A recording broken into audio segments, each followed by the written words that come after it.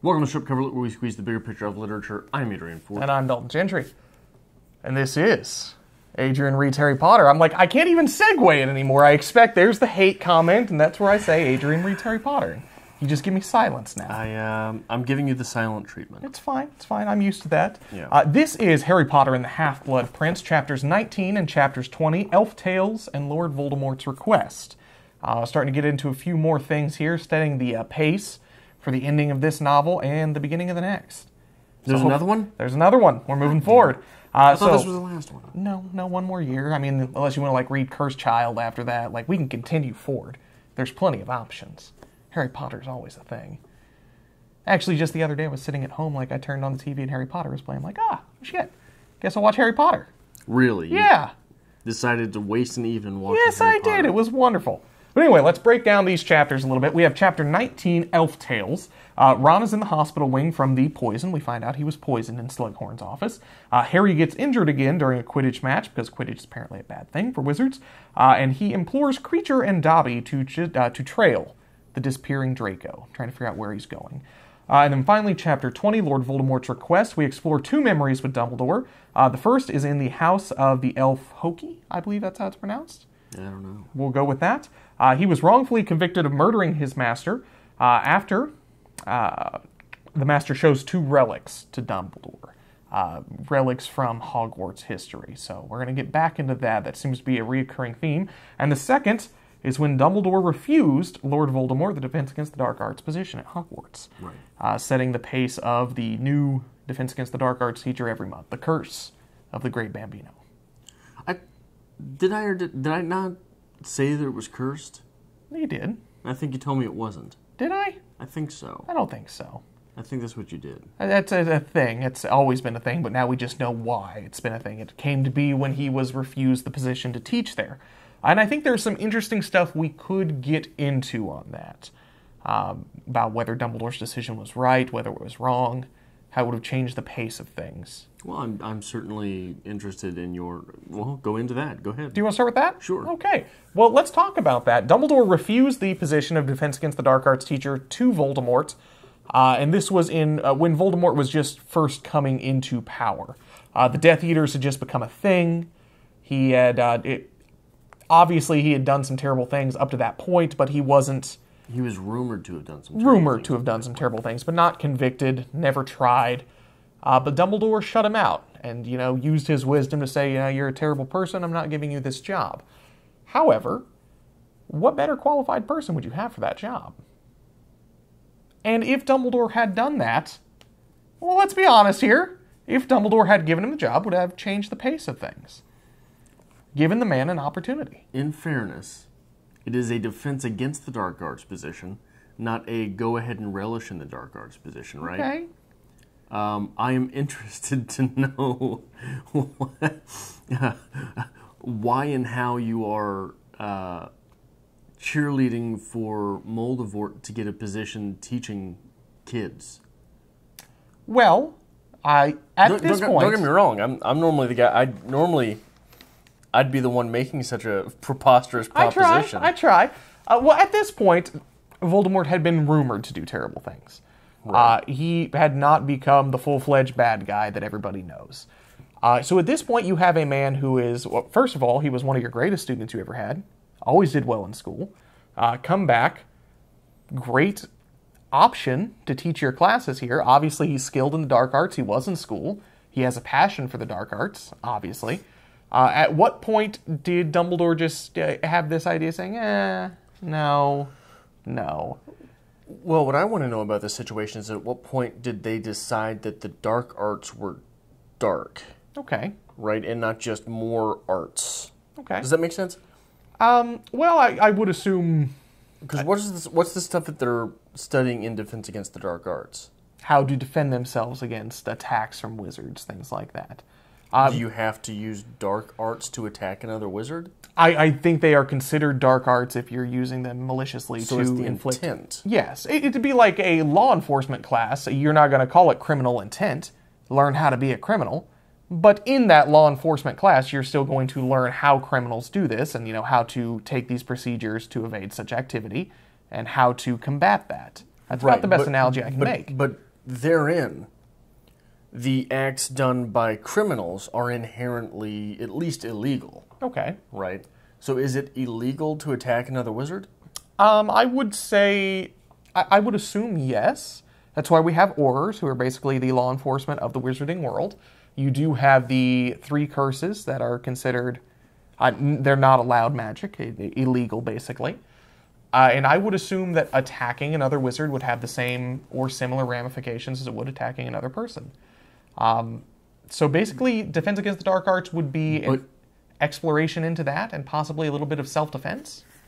So is I, I, I guess I'm I'm struggling with the mechanism of dark. Um, not that this text necessarily requires that deep dive, but it becomes dark when the intent is such to hurt another wizard. Why are they not just so are they just learning defense against magic in the class? Uh, essentially, yes. I mean, you're getting an uh, an exposure to what these spells are, uh, and you are learning how to defend yourself and others from such magic. So would or would not an a, a former or current Auror be the best person to have for that position? I would say yes. Uh, and we did have that chance, although it wasn't actually Mad Eye Moody. Uh, Mad Eye Moody was hired in that light of, you know, this is a former or one of the greatest of all times. He would be great at that position. Uh, you have Remus Lupin, who is added in, who is someone who is not by profession an Auror. However, he is part of the Order of the Phoenix, which Dumbledore would have been aware of at that time, so someone who would be trained in this skill for sure. Gilderoy Whoa. Lockhart, Diddledore didn't create the Order of the Phoenix? did he? I, I that's I missed that book. I haven't read that book in years. I wasn't. Oh, I. I, I thought that it was a new thing. I didn't know that it was an ancient. Well, that he would have been part of that group of people who are you know in this organization, and you know moving forward. So like I so could understand the time we're that. reading these books, Yeah. Lupin would have been okay. Uh, Gilderoy Lockhart was allegedly one of the greatest, you know, defensive wizards of all the time of all times. He combated all these people, although it was fabricated, of course. So I, I would assume that the people that we are hiring for this position have skill and have quality, or the rumor thereof. or the rumor thereof. You know, sometimes you get in a little over your head, put down on the application, you get a little fabrication. That's fine. Uh, but I, I would say if we have someone here who is extremely talented in this category, who has proven himself uh, when he was in school there to be talented in this category, who is, I, Who was rumored to have killed a lot of people. You know, just give him the teaching post. why not? Maybe turn him around, Yeah. give him a fresh start, give him an outlet. Uh, I, I don't know. That would have highly trained, like changed the pace of this novel here. And obviously, it's just a weak plot point to be like, oh, Dumbledore said no, you can't do that. Uh, but I, I, I, I don't know. I, you would assume Dumbledore had the wisdom to say no, but it, it really just reads as in he's like, well, no. To be honest, I had always assumed that he had been uh, a professor Okay. Um, because it just sort of it makes a better story because it makes you you were forced then to at least consider what would have happened with Moldavort walking the halls of of Mogwarts, um, just face to face with all these other people for how long, Okay. and then how would he have gotten out of that situation? I, I just think it would have been stronger Okay. uh, as opposed to just the you know no, piss off. Well, we have uh, Snape is the current Defense Against the Dark Arts teacher, obviously, in this novel here. Uh, and this is a man whose passion has always lied in the dark arts and the defense against the dark arts. Well, if his passion lies in the dark arts, how is he not a criminal? Uh, he is. I, I. Do you see why I'm struggling with this now? It's fair. It's fair. Uh, criminal intent in the wizarding world, I guess, is a kind of a gray category here. Um, this is a man, you know, Dumbledore trusts, and I assume Dumbledore's trust for some reason will override anything. Uh, if he says, you know, I'm going to give you a job here, it'll work fine. I'd be along the lines of, let's say, somebody was convicted at one point in his life for doing something. Uh, although he is a felon, he can still go to school. He can get an education. If he shows the quality, he can still teach. Absolutely. I didn't think felons could. I don't think it could, there's a bunch of things I don't think convicted felons can do. Felons can absolutely get an education. They absolutely can go to a university level setting. They can be professors. Absolutely. I don't know if that's true. 100% guarantee it. How many how many felon professors? I don't know any felon professors, but I, as someone who has worked with felons for a long time, I know for a fact they get an education, and it is considered discriminatory if you say, you know, we- we're not hiring any felons. Now you can have certain layers to that, like you know, we're going to hire people for these particular crimes because absolutely not. What might those particular? I mean, you kill be? somebody, Well, well, uh, but this, this here? is a different world. This is the wizarding world. Uh, but it is an interesting scene there. It seems like Dumbledore has set the pace for events to come, uh, based purely on just his judgment. So we could say this this is all really just Dumbledore's fault. He's just cleaning up his mess at this point. I don't know that you can. I don't know that you can. Okay. Uh, so what else would you like to talk about in these two chapters here? Anything that's just uh, in the back of your mind? I've only got one real note. Okay. Um, Hagrid has the quote It's terrible, all this new security, and kids are still getting hurt. Um, and that feels a lot like the War on Terror. Okay. Do you, I mean, do you remember the, the days post 9 11? I do.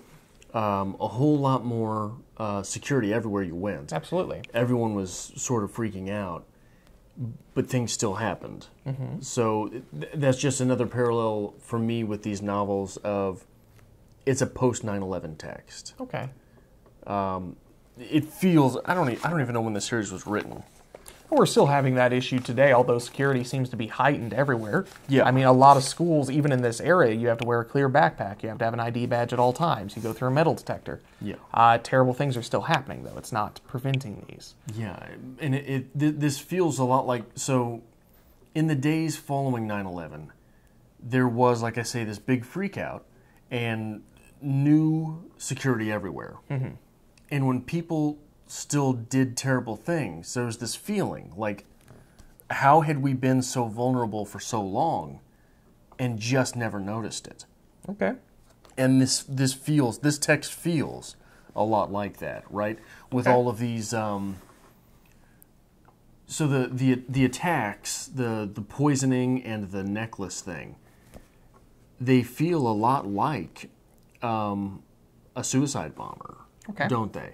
Because it's an attack that comes out of nowhere, um, is sort of directed, but s- sort of not. Like, there's not a great deal of precision going into these things, right? Okay. Which gives it a feel, a, a feel like of something like a, a suicide bomber, because you're just running into a place and hoping to kill people, right? All right. Um, now, with these two particular attacks, both the poisoning and the necklace, um, do we have any notions about what's going on with that there, where these are coming from, what the intent is? Uh, because it seems like both time, both times now, uh, the intent, intent was not executed properly. Right. Uh, somebody else became the fodder in the way of the actual attack. So, any ideas, any notions where that's going, where that's coming from? It leads me to believe that it is not Moldavort, that it is Okay. either Drago or, um, oh, what was her name? The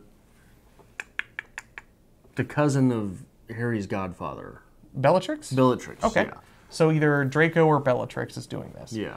It seems to me. okay. I, I'm not sure. Uh, it seems not more a direct attack. It is kind of like sulking in the shadows there, and like we're just going to you know try to slide this in here, and hopefully it gets to its destination. Uh, and we could assume at this point that the target would be Dumbledore. Uh, the potion was allegedly meant for Dumbledore. The necklace was to be delivered to. Uh, it- it's It was to be delivered to Dumbledore? Yes. That- okay. Yes. Uh, so it, it seems like Dumbledore is being targeted here. We just don't know by who, and we don't know the exact reason why. Uh, but it, it does seem a little suspicious, and we are going to start getting into that a little bit more. Uh, but speaking of cursed objects and objects in general, we've talked a lot about Dumbledore's fascination with relics, uh, items of power, fancy, pretty baubles, things like that. Uh, we get this cutback scene here where he gets Dumbledore or Moldavort? Voldemort Okay. uh, because well, Dumbledore by proxy through Voldemort, Okay. because we're trying to you know break down what's going on with Voldemort here. Uh, but we do get this flashback scene where this woman is murdered for two of her antiques, both of which being two items held by the Hogwarts founders. Yeah. So, any idea what, what that is? What we can uh, piece together through out of that? Is there some type of prime founding power that has been put into uh, relics so that he would still need something from the Gryffindor house and something from the Hufflepuff? Hufflepuff. Um, not necessarily. No. Uh, once we get into you know fantasy fiction things like that, this genre, uh, items such that have always held power. You know, you have the crown of the king or something, the sword of the king. Uh, they always seem to have some kind of prestige behind them. So there there is an air of prestige to that there. So maybe this is just you know Voldemort wanting to you know throw his weight around. I, I don't know. So that that does not seem like a character that is particularly into collectibles. Okay. So, I- like that's the thing that gets me about this so far is that it seems there must be something more going on with magic, and if there's not, then it's just sort of poorly written. Okay. Um, The endowment of these relics with power, from whence does that come? How was that executed? How is it held in the relic? Does someone have to be? Is it like a? I don't know, like when you establish a, a scholarship, you a lot of places you can donate ten thousand dollars to the school, and then there's a scholarship in your Yeah. name. You know what I mean? So is it something like that? You have to exert a certain amount of magic into a relic, and then there's a certain amount that can come out. Little payout. Yeah, Uh, well, like I said, it is a trope of this genre of literature, and like that is uh, someone who would be a fan of fantasy literature would be just very much comfortable with that would idea. be very accepting. yeah, absolutely but so. but and I'm not sure that that Uh, it's the means s- it's good. It's the same idea with you know Dumbledore because he is old. He is therefore powerful. He's experienced more. He's been around. Ancient magical objects always have power to them. Uh, that is going to be a big thing going forward. Uh, so try to keep that in mind. Uh, there are going to be certain objects in the wizarding universe, wizarding world, whatever you want to call it, that are considered like top of the line. There is no better. There is no more powerful, uh, and only one exists. So only one exists. Oh, yeah, only one object. Is, it's unique to this world, and because it's unique to this world, it's ancient. It is powerful. Uh, magic that perhaps has been forgotten or just imbues the user with more skill. So, a little interesting there. That is something to definitely keep in mind, though, especially since it seems that not only was Voldemort trying to collect items like this, but now it seems that Dumbledore is very interested in these items he was collecting. Okay. Okay, nothing. I- nothing. well, I, I I asked my questions. It just doesn't seem like it. Okay. Just it's um. It is not fulfilling as an idea set that these things just have power to have power. Okay. Right? Uh, well, we read Lord of the Rings. Look at that. There was the one ring that was created to have power. But it was endowed with that. Uh, Exactly. power. It was endowed with that power. There were rings that were endowed with power. Um, even And by the way, I am not uh, a cheerleader for Lord of the Rings. I thought you loved it. I thought that's what we were doing in September. No, you want to just not. carry on with that? No, it is not. Okay. Uh, but there are items of power, and that, that's always been a thing, especially in this magic community, anything you want to call a magic community. Uh, let's talk a little bit about Slughorn, because Slughorn, is, Slughorn still seems to be, you know, circling around all of this. Uh, we get a little bit of talk how basically, you know, he's been in hiding, and it would seem that Voldemort was very close to Slughorn. We even get a mention that you know they were like it was his favorite student, basically his favorite professor.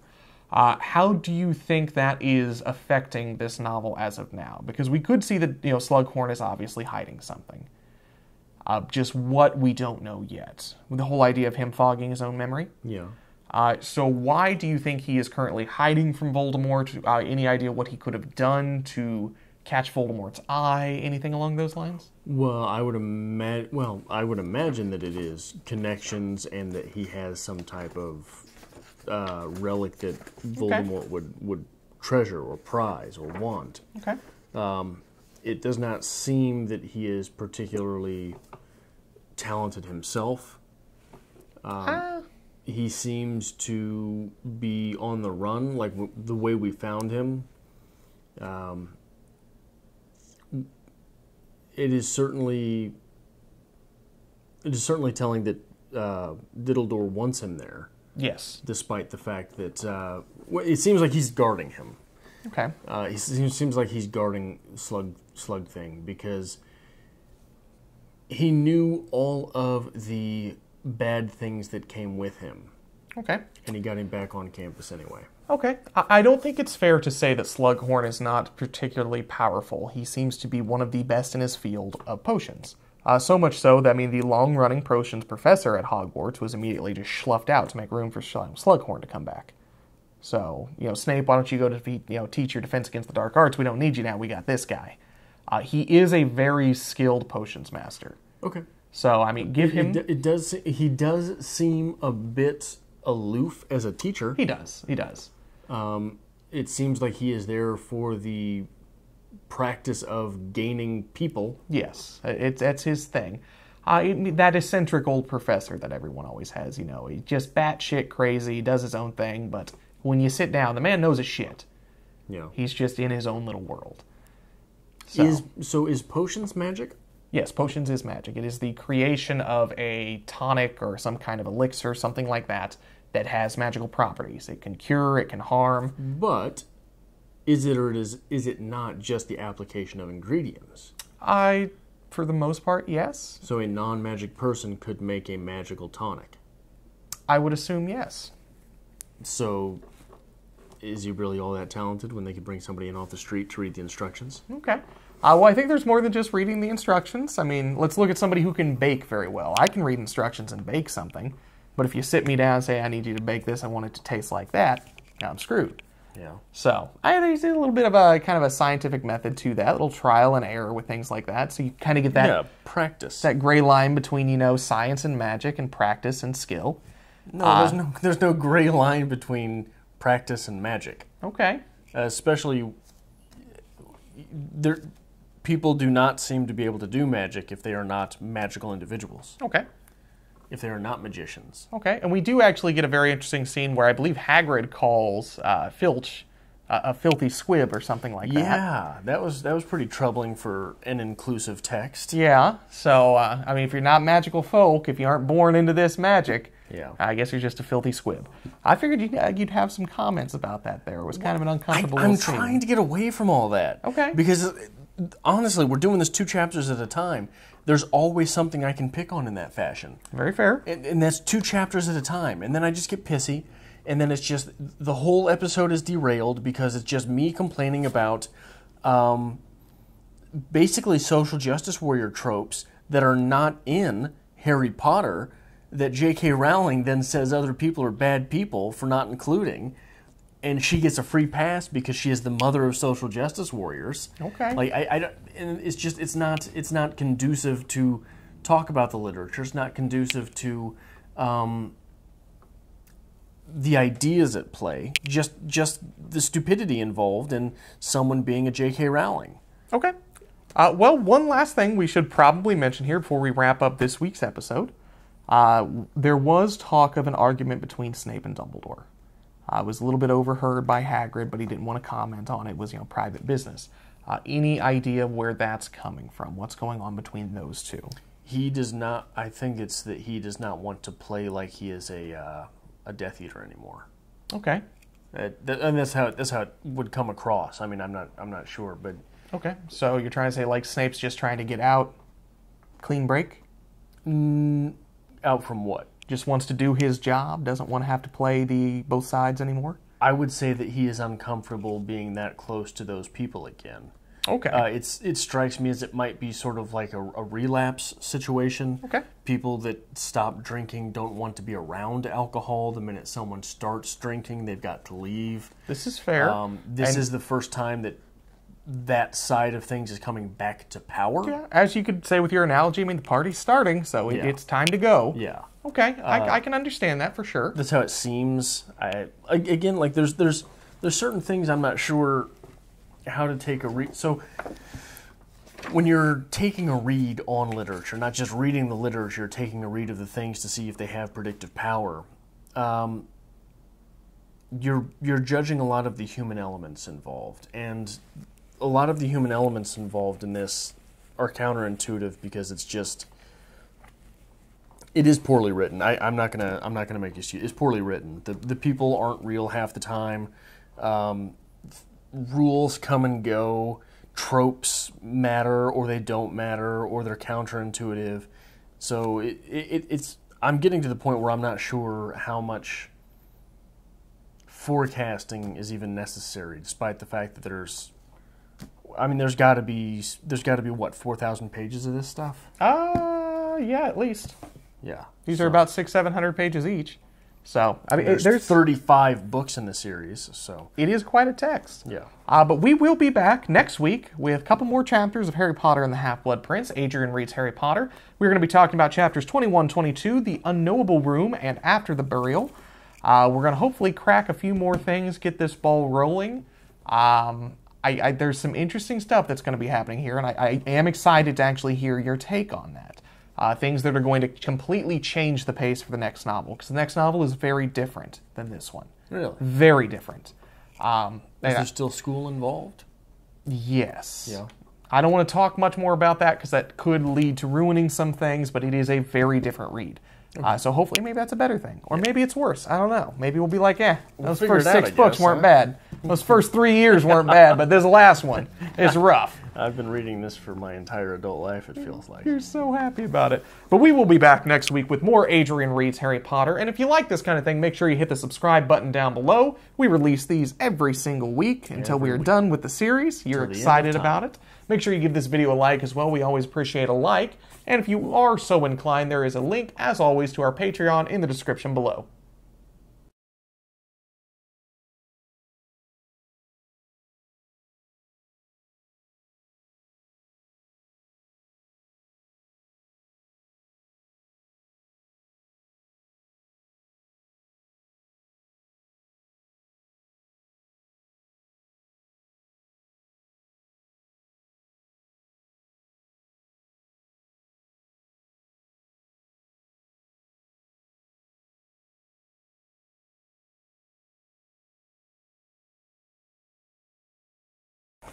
We go back to reading three chapters? I feel like you get more meat out of it. I don't know.